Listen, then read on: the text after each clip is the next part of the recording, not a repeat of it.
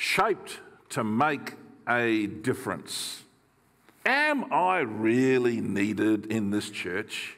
I mean, it's a big church, and uh, you might be here today, or you might be visiting, or you might be newer to the church, and you say, Well, everything's done so well, and they don't really need me.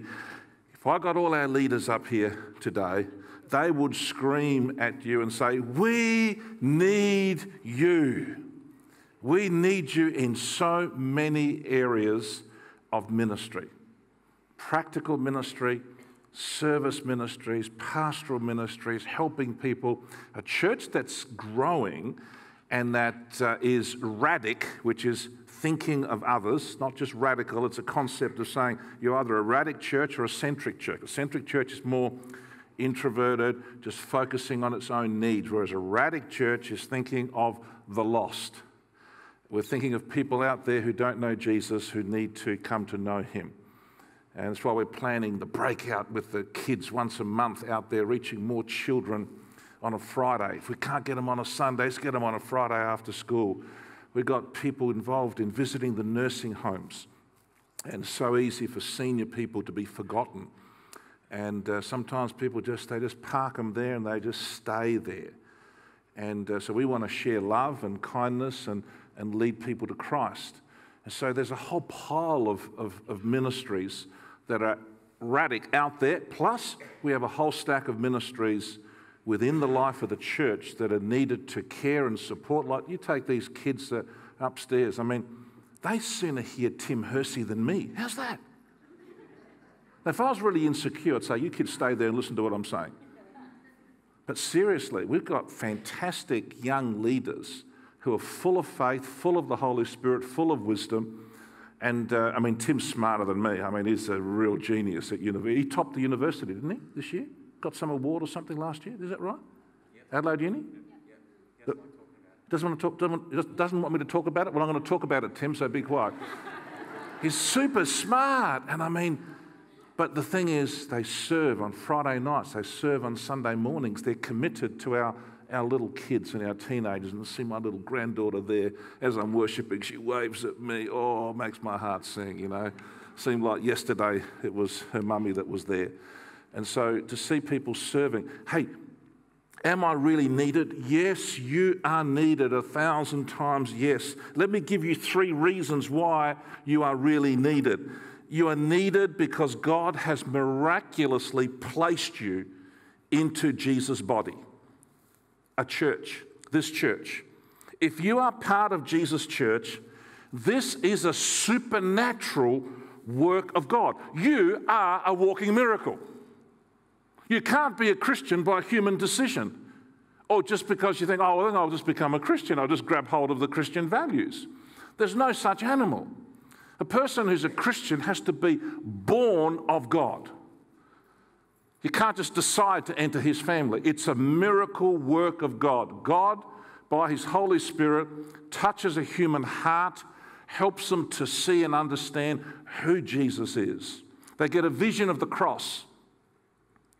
Not a historical vision, but a personal vision. They say, Jesus, you hung on that cross to reconcile me, a sinner, lost, condemned, to have a home in heaven and to be saved forgiven of all my sins now, have the gift of eternal life, and to be blessed with your presence through the Holy Spirit. You get a vision of, of the cross. You, you, you see Jesus, and somehow, miraculously, when you see it and the lights turn on the inside, that the Holy Spirit enlightens us, then something arises where we want to believe on Him and to receive Him, and a miracle takes place. The Holy Spirit comes and lives within you and you're transformed. God has no grandchildren, He just has children and they've got to be born into His family. And so you're a walking miracle if you're a Christian and if you're a member of Jesus' body. Look at the scripture 1 Corinthians 12 13. I love this one. For we were all baptized, notice the imagery, immersed by one Spirit, the Holy Spirit. He came on you, He overwhelmed you so as to form one body, whether Jews or Gentiles, slave or free. We were all given the one spirit to drink. I love the imagery. baptism, overwhelmed by the Spirit. Your thirst has been quenched through the Holy Spirit who introduced you to Jesus Christ. You are a walking miracle. John 1 says this Yet to all who received him, if you received him, say yes, yes. To those who believed in his name, I've believed in his name. He gave the right to become children of God. But notice this children born not of natural descent, nor of human decision, or a husband's will, but born of God. Yes, we believe in Jesus and we personally receive him, but it's a miraculous saving action by God. You didn't choose to become a Christian. Actually, you responded to his invitation. He came, he rescued you, he sought you out. And I know on the human level, we respond and we make decisions, but on a supernatural level, this is the work of God. That's why you can't lose your salvation. I just don't believe that somebody who's been born of God, born of the Spirit, can become unborn. Some people say, but Pastor Bill, I, I know people who have received Christ and they've fallen away and, and they're no longer wanting to follow Him. Well, I doubt whether in the first place they were really born of God. Because if you're really born of God and the life of God comes within you, you can never go back. You may have problems and difficulties and fall over and bloody your face a little bit, but uh, the, the, the awareness that you are loved unconditionally by a God of love, and He has freed you from all your sins, not on the basis of your good works, but on the basis of the good works of Jesus as He walked among us and as He died on a cross. You can never be the same again. And so, Am I really needed? Guys, you are needed because you're part of the body. God has miraculously placed you there. Now, listen to these verses of what he says about the body one body, many parts. Now, you are the body of Christ, he says to the Corinthians. But he's basically saying every local church is the body of Christ in its location, and each one of you is a part of it. Look at Romans 12. For just as each of us has one body, with many members, and these members do not all have the same function, so in Christ we, though many, form one body. We are one united body as a church family, but we are made up of many diverse parts. How many people does it take to run our Sunday services? For the adults, for the kids, for the children. Our 8:30 service, our 10:30 service, our 6 p.m. service, just on Sundays. 10? 20? 30? Anyone higher? 40? Put your hand down, Kathy. You know the answer. I already told you. Can't control it. 40? Do I get a 50? Do I get a 60? Do I get a 70? I'll put you out of your misery. 110 people to put on Sunday. Do you know how many of us are paid? About four, five, or maybe a couple more. Some of us are paid. But our pay is from 8:30 to 5 Monday to Friday. For those of us who are full time, or Sam, as our youth pastor, he works three days a week as a teacher at Port Life School. The other two days, 8:30 to 5. So Sam, today you're a volunteer. Monday, Tuesday, Wednesday, Thursday, Friday night, you're a volunteer, Saturday night. This church would fall over if the various parts of the body did not function according to how God has wired them. Seriously. 110 people, that's just for this Sunday. Okay, if we have 25 people working in Tanya and Yen and Laura's team, the creative ministries team, for one Sunday, They've got about 60 people on the entire creative ministries team, but they're not all rostered on in one day. So, and then when you think of our kids' ministry, our, our children's ministry, 43 people to look after our little darlings, primary school kids and preschool. Youth, there are 20 leaders running the youth ministry Friday nights and Sunday mornings. Our connect groups and care structure 42 different people. Our kitchen hospitality team of seven teams, like today, a group of maybe six or seven or eight people, there should be about 10 in each group. There's seven teams, there's 60 people involved in feeding. I'm going to feed the inner part of the outer man, Kathy's going to feed the outer man afterwards. And boy, isn't that something to have? I mean, it would. This happens not because one person or two. This is the body functioning in ministry. Do you know how many people it takes to run our ministries during the week? Forget Sundays. Midweek, all the activities that take place on any given week, 180 people. And I got a list. I asked our team, give me a list of, of all the ministries and the number of people. And I was bowled over. Thought, man, there's a lot of people serving in a whole pile of different areas. And all the leaders will say, Pastor Bill, we need more people. There's so many more things that need to be done. You see, in a smaller church, usually the reason why it's really small and doesn't grow is because opportunities are not created for people to serve.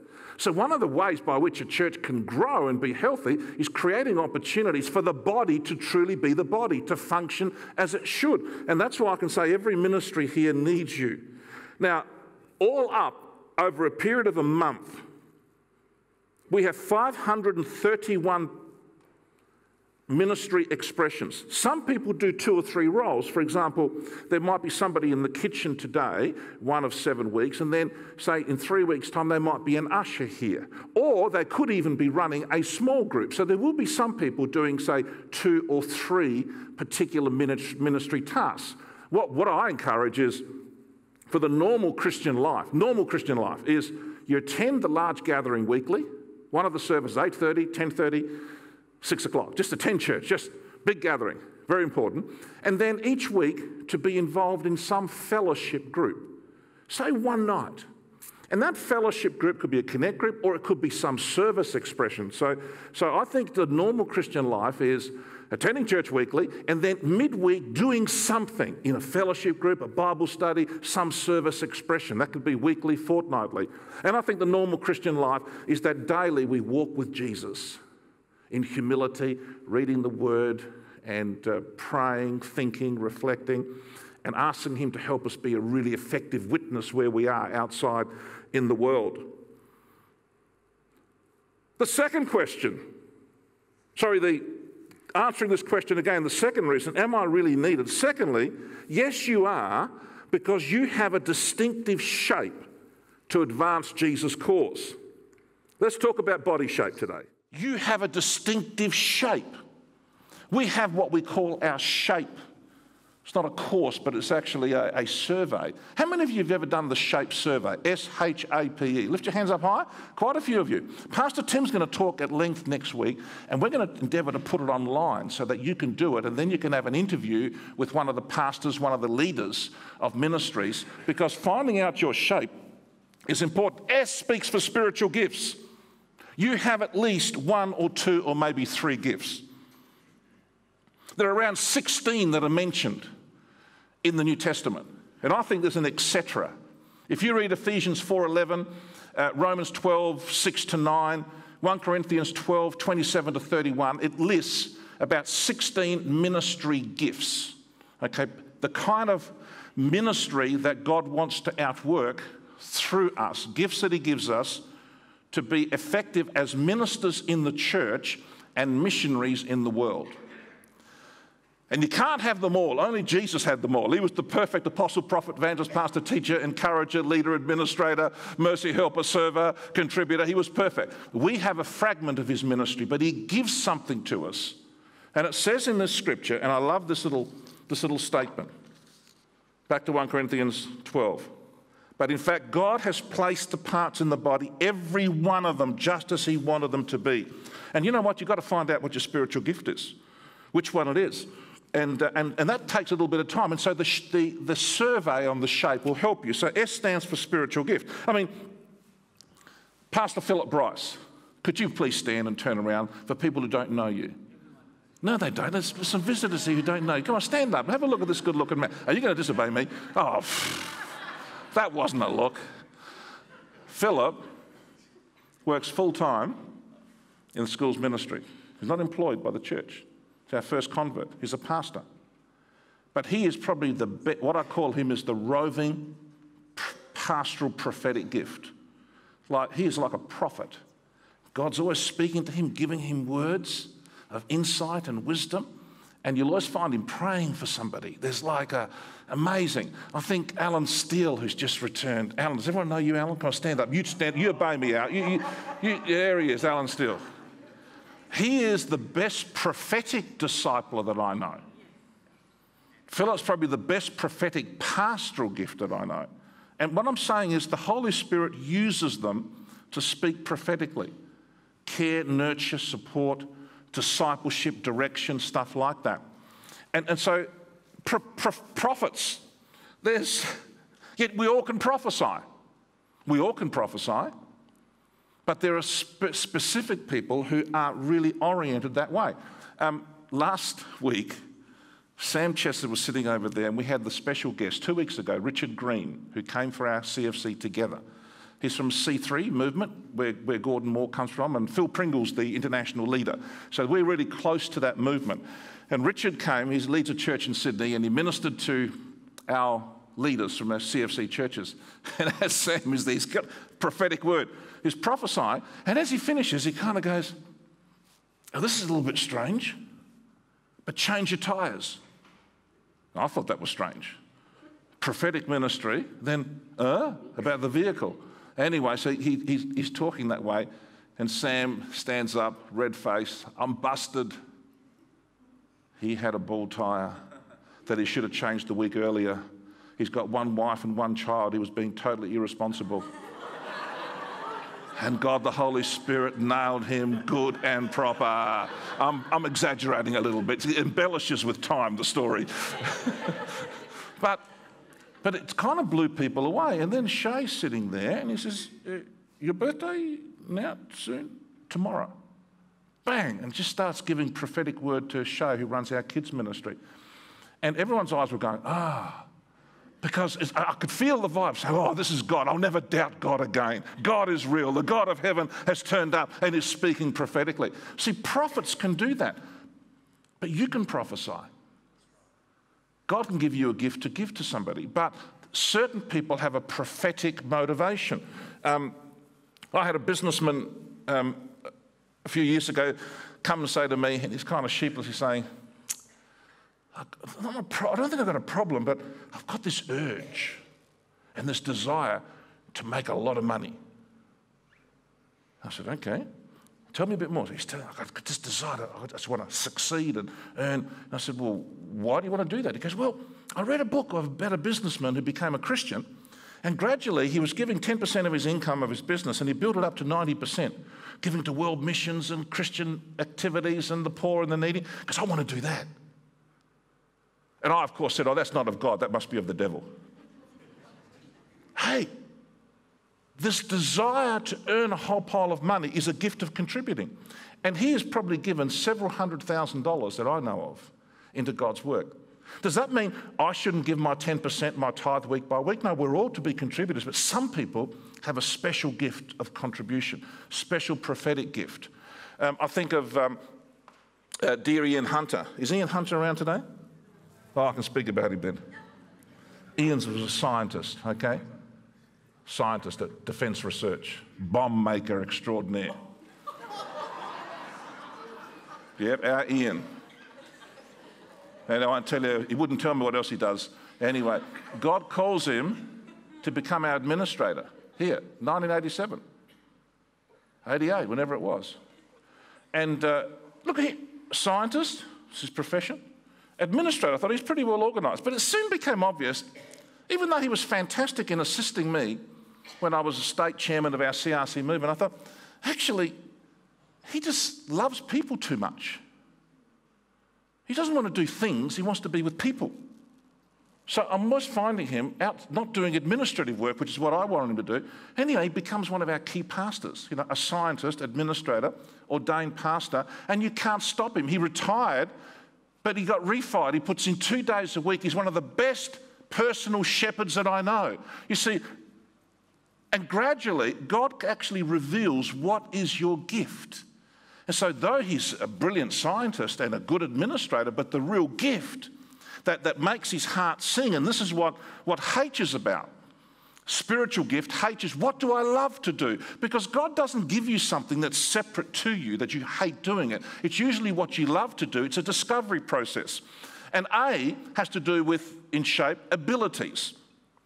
And God gives us certain natural abilities and talents and aptitudes. So for me, when I came, I think I've got three gifts that I'm aware of out of the 16, you know, number one, two, three. But let's say one of those gifts is, it's pretty obvious from what people tell me is that I'm a leader, okay?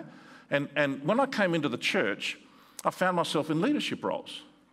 And yet, where did that come from? Was that just a gift that God gave? Well, actually, when I checked it through, my dad was a leader. Anything that he got involved in, they said, Stan, we want you to be the leader, the president, etc. At primary school, high school, university, they selected me as the leader all the time. Now, I used to lead them up the garden path. I was a, a, a, leader that did the wrong thing in those days, but the aptitude was there. So, what does God do? I think when you become a Christian, He can pop in a new gift, but I think a lot of times it's the natural ability that's there as part of your personality type, okay? That when the Holy Spirit comes upon it, then it can become a spiritual gift. So I think that's what happened to me. I think what was natural became spiritual. And, and I think if you're waiting for a gift to pop out of heaven and, and you're waiting for a look at your life. What do you love to do? What's your particular natural abilities? Also, your personality type. You have a unique personality. You're wired in a particular way. And, uh, and, and your gifts tend to flow that. I know I can say with my wife, Kathy, some super spiritual pastors' wives over the years have criticised it, not from our church. They've said to well, you know, why don't you sit in the front row with your husband and as he's preaching, just look into his eyes and smile like Nancy Reagan did with the president? you know, the Nancy look. That's what you should be doing. Why are you working in the kitchen? Why are you doing this practical stuff? And, and this person was serious. And Kathy said, You know what? You know why I do it? It's because I love to do it. And I express my, my love for people by practical service. And not just that, we have a ball in the kitchen. We have a great time. We build fellowship and community. So you see, Yet she's a nurse educator at the university. She's highly intelligent and she's multi gifted and she can speak well. But you see, that's what she loves to do. It's her personality type, it's the way she expresses her love. So anything goes. God's not going to give you, get you to do something that's outside of the ambit of who you are as a person. And so discovering those things is, is really important. And, and so your life experiences, spiritual gift, S, Heart, what you love to do. A, what your aptitudes or abilities are. Your personality type, P. And E, life experiences. You have certain life experiences that God can use to help others. Look, you know, one of the best things, Sam promoted the book, The Me I Can Be. The best part of the book are the six stories. Better than what I've written down there. Hearing from Penny and Kathy and, and, and Steve and Jim and Ray and the stories of people and the hell they've gone through the devastation and dysfunction to see a God of redemption who has saved them and healed them, and now they've become a vehicle by which they can be a source of blessing to people. My prayer is God use them to touch the lives of thousands of people. So no matter what's happened to you, when the gospel comes, there is a line drawn in your life. It's called BC and AD and all things become new. And your past can be redeemed, and God can use it to be a source of tremendous blessing and help and healing to people in need. And our church is full of people like that. I think of Sandra Ballard. Sandra's here. How many women over the years have I sent to Sandra? Say, Sandra, I've got somebody here. They think I've got the answers. I said, but I don't. They've gone through terrible abuse and violence. And she's always there. Just make an appointment. She's not an ordained pastor, but her life experiences have made her a healer of people. How many people have you helped, Sandra? Many people that I've, because I think, you know what? I'm not really competent in those areas. I have not experienced this. I'll, I'll get people who've experienced stuff who are healed to be healing forces, and she's brilliant. So many others as well in the life of the church. Thirdly, am I really needed? Yes, because you've been called and gifted by Jesus to serve others. Notice you're called and gifted. 1 Peter 4:10, the beautiful apostle Peter says each of you should use, use. Don't misuse, don't abuse, don't hide it under don't bury it and say, no, no, not me. You know, surely not me. This church is big enough. It doesn't need me. Hey, it says each of you should use whatever gift you have received. You've received this gift from God.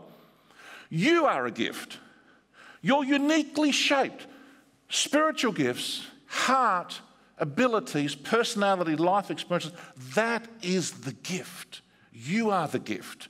And He has uniquely placed you in the body here to serve His purposes, to be a minister in and through the church and a missionary out there in the world, a healing agent. Each of you should use whatever gift you have received, notice this, to serve others as faithful stewards of God's grace in its various forms. Be faithful, folks. Be faithful in discovering your unique shape. Do everything in your power to discover it. And then develop your gifts and abilities to the max. And then deploy them to extend Jesus' kingdom. We're all ministers and missionaries. Martin Luther said, and, and we celebrate 500 years of the great Luther's uh, Reformation, October, I think, you know, 1517. I used to teach it at, at uh, uh, the Reformation, wonderful period of history. And we're all Lutherans, really, when you think about it. If you dig down, we're all been affected by this amazing man, probably the most influential man in the last 500 years in human history. The effect that he had upon Northern Europe and the Americas and, and Australia. And uh, he transformed our understanding of church and ministry. And one of the comments he said was, he goes, away with the laity. And I thought, oh, Dr. Luther. Because in that era, the Roman Catholic Church controlled Europe as a political state. And so the priests were also like ministers in, in, in, a, in a government. And so they had a lot of of state power as well as religious power. There was no separation. Secondly, the Bibles were chained to the pulpits, and you could only, uh, uh, because only the priests could, could speak Latin. So they didn't have the languages of, of translations of the Bible in various languages. And so Luther just decided to translate into German when he was stuck one year in prison in the Wartburg Castle. I love to go there. One year without resources, and he created the German language, unified Shows you how smart he was. Unified the, the language groups of, of all those 300 states to become the modern German state. So he actually wrote, translated the Jolly Bible in one year into German. That's another thing he did. But when he said, away with the laity, he said, I said, Dr. Luther, what are you saying? He goes, because we're all clergy. There's no separation. There's not a superior class. I'm not closer to God because I'm ordained as, as, as a CRC minister or I'm leading the church here. All of us can have that relationship with Jesus. There's no mediation, there's no role for a pastor or a priest to be the mediator between God and man. There's only one mediator, his name is Jesus Christ. And you can talk to God and have a relationship with him. And so there's no clergy laity distinction. We're all ministers in the church, are to be. So if you're not ministering in the church, if you're not ministering in some way in the church, you're not being the body of Christ. I'm not being harsh, it's true. If God has put you in and He has fitly framed you to serve, if you not, are not serving, you're not functioning as, as, as part of the body of Christ. Secondly, you're a missionary. We have Vagena, who we support as a missionary, along with, with the Hobart Church. But we don't say, oh, we've done our part. You know, Vagena's our missionary to the Philippines, and, you know, so and so's our missionary. No, no, no. We're all missionaries. I'm a missionary to my neighborhood. I'm a missionary tomorrow morning at school. I'm a missionary at university. I'm a missionary where I work. There are people out there that may never hear the message of Jesus unless you share with them and build a connection with them and live the life, because you can't talk about the life of Christ unless you're living the life of Christ. And so those people cannot be reached by, no matter how good a preaching of the gospel we may give here as, as the preaching, teaching pastors. We can't reach those people, but you can. You can share your story, you can tell them. And so there's no clergy laity distinction, there's no sacred secular divide. This place today, this building, is not a sacred space. Okay, we, we hire this out. I think the Tamils are coming, aren't eh, they, Milan, soon? Now, they're probably Buddhists and Hindus and some Christians, and, and it's, it's a community, a celebration. They're going to have a party without alcohol, drugs, rioting, and all that kind of stuff. We won't allow that, obviously. We hope so. No, we know so. But they will use this platform. Oh, how could you let them up here, this sacred space? No, no, it's actually a building. That's all it is. It's a building. And when we built it, we said we want to run our services here and we want to open it to the community to bless them so they can get cheaper hires than, than what they would slug out there. And so this is not a sacred space. This is a building. When we come here as Christians and congregate together, we set it apart for certain hours for spiritual activity. Okay? But the same thing happens in your connect groups. The same thing happens actually when, if there's a couple of you working in an environment, you're the church out there. Or if you're on your own, you, you take the Lord with you wherever you are. And so there, there's, no, there's no sacred secular division, divide. Uh, we're, we're serving the Lord 24 7, whether here or whether tomorrow morning or Tuesday night. There's no gender and age difference.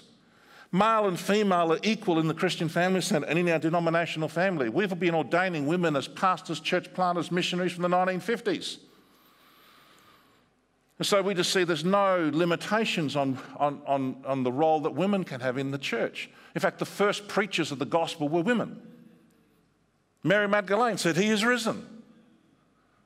And other women that proclaimed the gospel, they're the first ones to see the risen Christ. In fact, the women, the, the people who bankrolled Jesus' ministry were a bunch of contributors with the gift of giving. And they were zillionaire women. Can you believe it?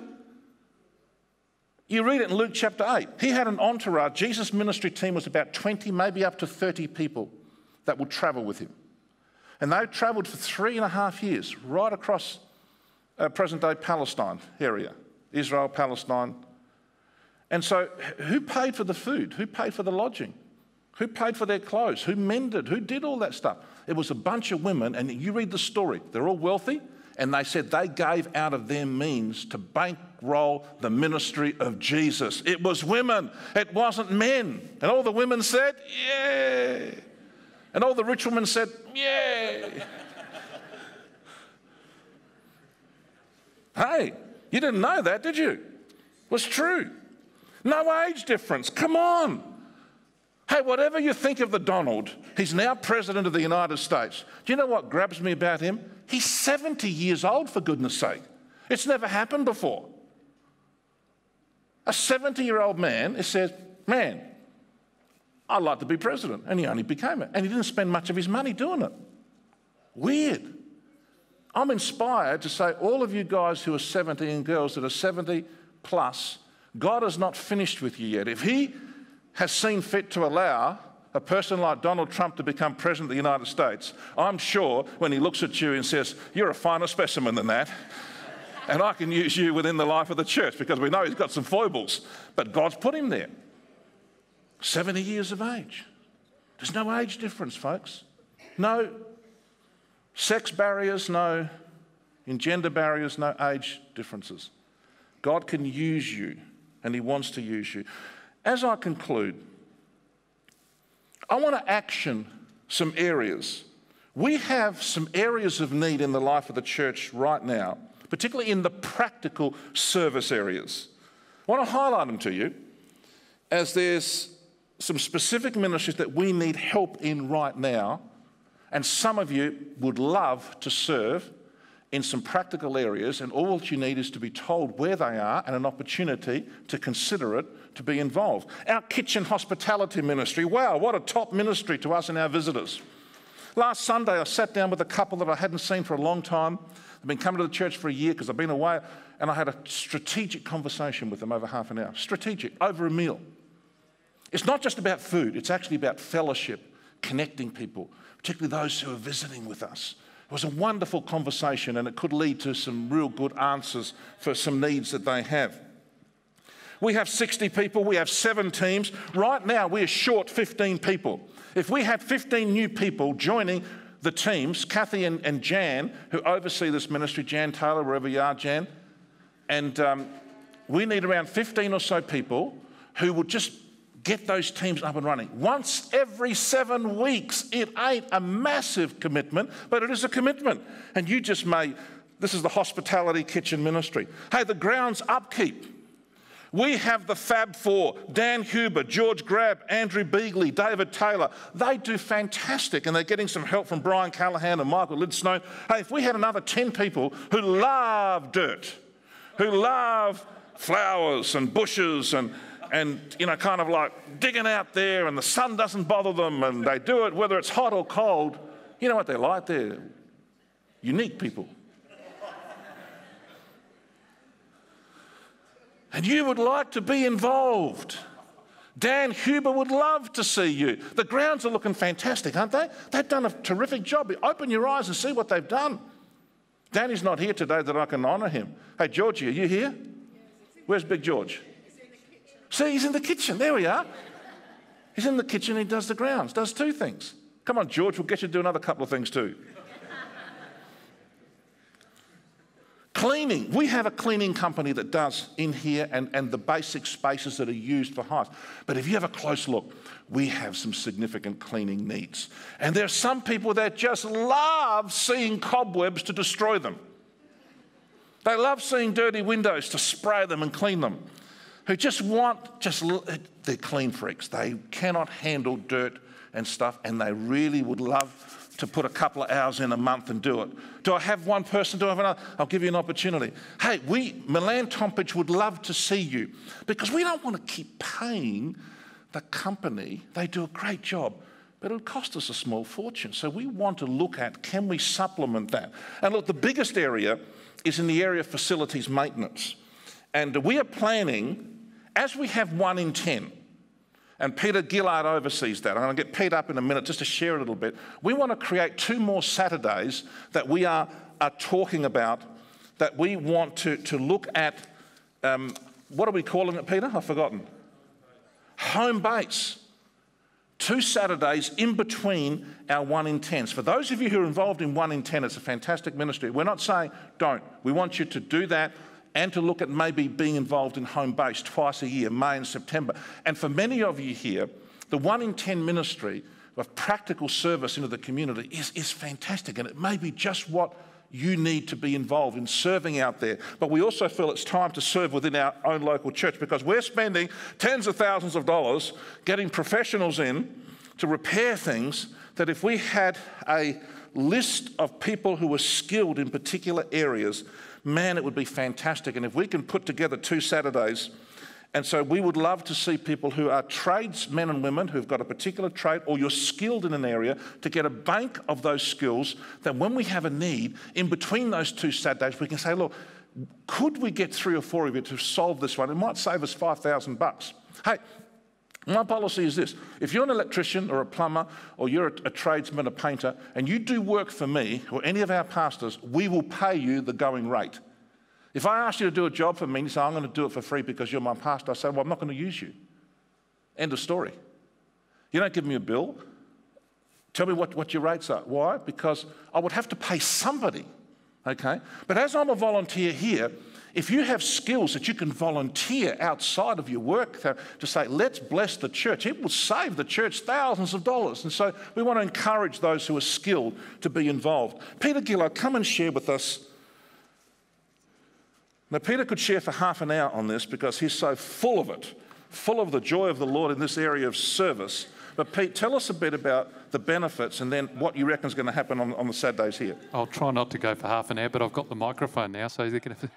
Um, anyway, look, one in ten. Many of you know one in ten and know what we do in the community. It's our outreach into the community where we set aside five Saturdays a year to go into the community. There'll be some pictures up there um, as we go along of um, from our last one in ten event, which was in February, um, and the next one's coming up on the first of April.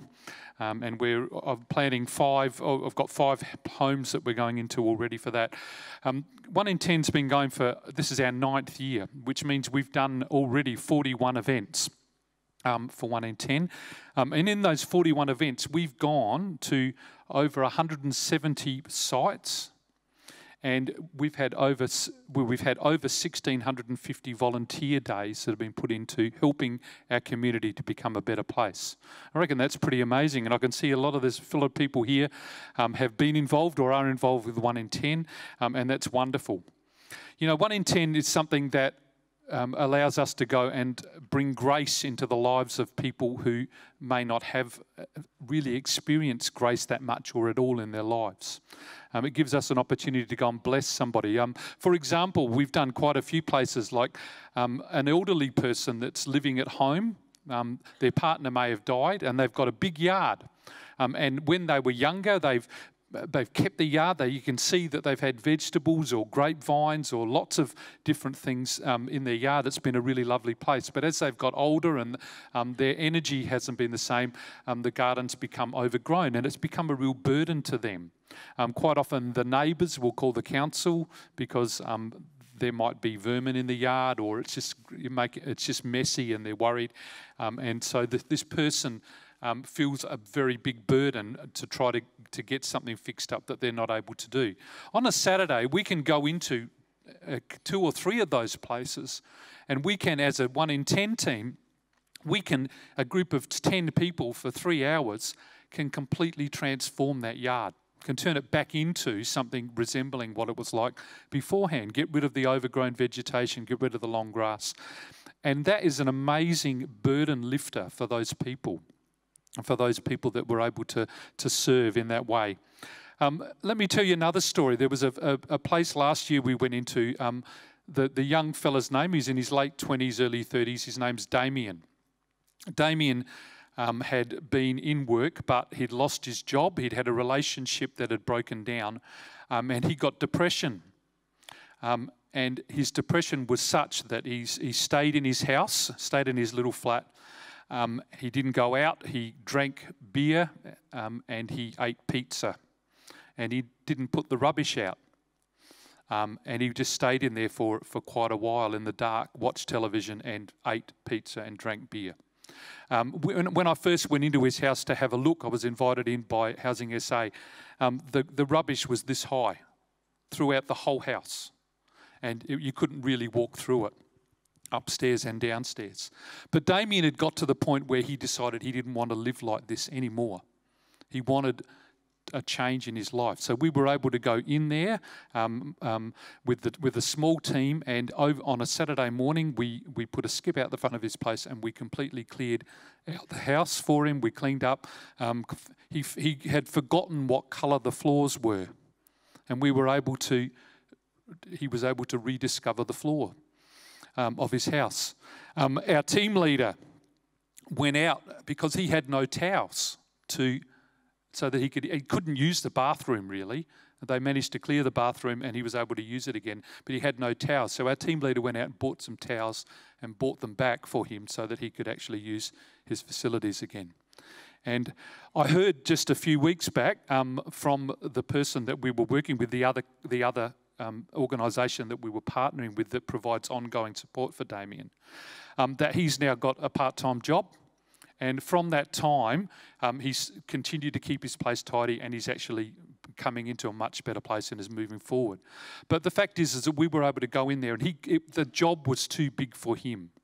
But for us to go in there as a team and to be able to, on, a, on a, one Saturday morning, to be able to clear that place out um, was for him was an overwhelming thing that really gave him the start he needed to be able to move on in his life. And that's just one of 170 stories I could tell you um, from one in 10. So it's great. The good thing about, yeah, that's great. Well done to the team.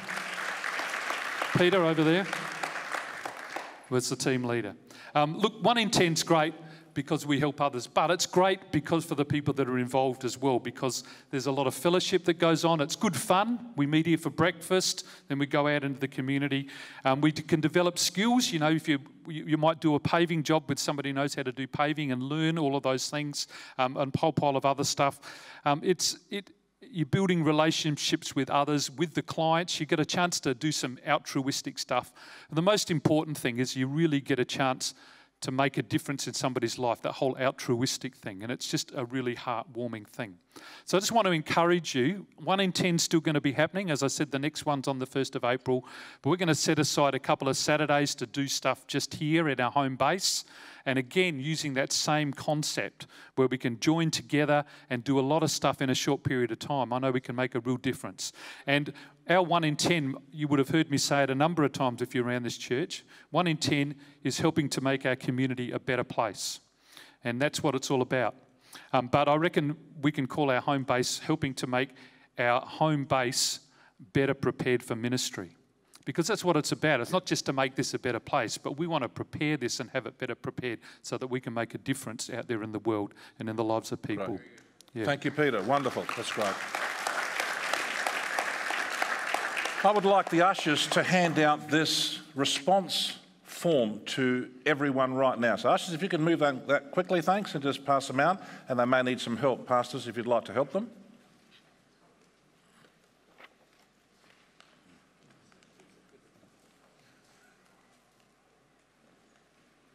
Philip, just to help them if you can.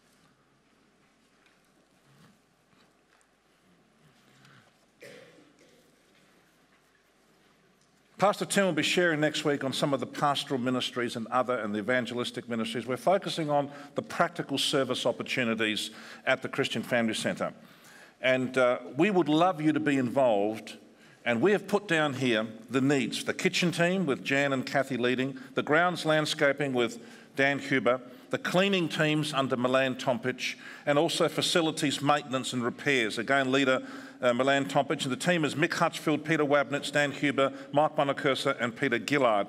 And in that, there'll be the two Saturdays, the home base, the 20th of May and 23rd of September. And at the end, we have here, I have a trade qualification in. You might be a plumber, you might be a carpenter, cabinet maker, or you may be just have practical skills in a particular area that uh, we don't know about. And we'd like to develop a bank of skilled people that when there is a significant need in the life of the church, we can perhaps say, look, uh, would you be interested in being involved?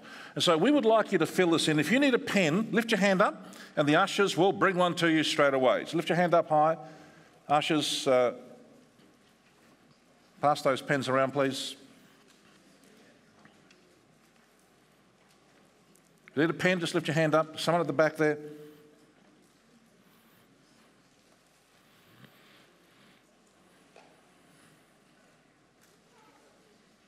If you put your name, your phone number, your email address, you may want to check May the 20th and say, look, I'm free. The reason we've done May and September, they're in between the 1 in 10s.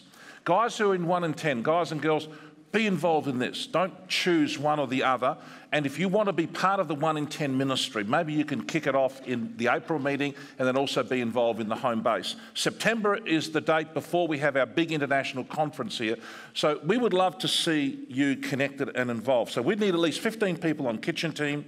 We would love to see another 10 or so people on grounds landscaping, cleaning teams. If we had 10 to 15 people who were prepared, and uh, maintenance and repairs, if you have a skill that you say, I think the church could, could benefit from at your time and in the, right, in the right time, then please let us know. But we're hoping on the Saturdays to do a whole pile of stuff that's going to be organised uh, for those days. So if you'd like to fill those in, and we will collect them in a few moments. Can we just stand together?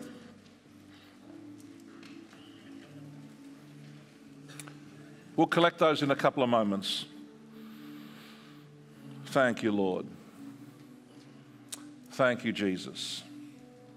We have sung some songs together today. We've taken the Lord's Supper because the centrality of the church is actually about Jesus Christ and our connection with Him. We've talked about His gracious working in saving us and bringing us into a local church community and talked about are you needed? You are needed. If it's not a practical area, there are some other areas we'll talk about.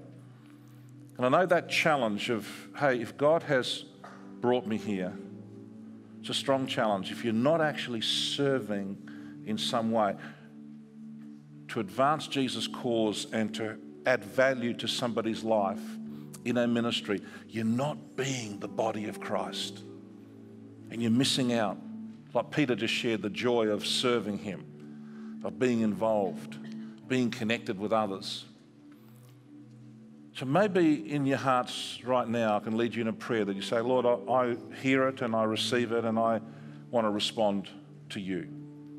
Or maybe you haven't received Christ as your Savior and you still you, you love Jesus, but He's out there, He's not in your life. And you want to receive Him as your Savior. You can do it now, right now. He's just a prayer away. If He's been knocking on your heart door, on your heart's door, He's saying it's time. He does the supernatural saving, but we have to receive and open the door of our heart. If you're at that point, you say, I need Jesus to be my Saviour. Will you respond to Him now? Let's close our eyes and talk to Him.